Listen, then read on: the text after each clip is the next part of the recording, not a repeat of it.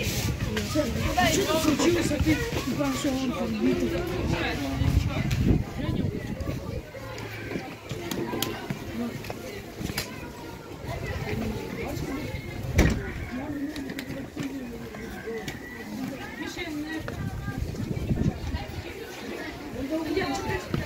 Пішли.